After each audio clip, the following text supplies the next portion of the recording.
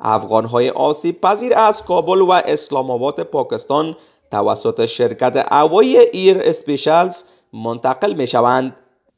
شرکت هوایی ایر اسپیشل با امضای قرارداد بلند مدت با یک شرکت غیر انتفاعی مستقر در امریکا مسئول انتقال محموله های بشردوستانه از میدان هوایی دبی به کابل و اسلام آباد و در پرواز برگشت مسئول انتقال افغان های آسیب پذیر از افغانستان می باشد.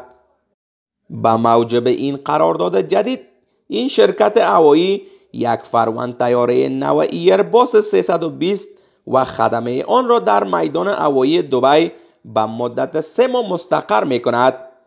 قرار است این تیاره معموله های بشردوستانه را به کابل و اسلام آباد در پاکستان انتقال دهد و در پروازهای برگشت خود مسافران را از این دو شهر به قطر و یا کشورهای اروپایی برای اسکان موقت پیش از اسکان دایم در امریکا انتقال بدهد. این یک خبر بسیار عالی برای افراد است که کیس های SIV P1 و P2 دارند و می توانند از این پروازها از افغانستان و اسلام آباد استفاده کنند. نام شرکت غیر انتفاعی طرف قرارداد این خط هوایی تا اکنون اعلام نشده است.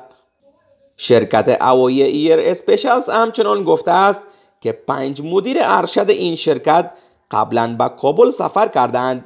تا امنیت پرواز و دیگر استانداردهای لازم بررسی برای انجام این عملیات را بررسی کنند و بتوانند این افراد را از کابل و اسلام آباد به طور مسون انتقال بدهند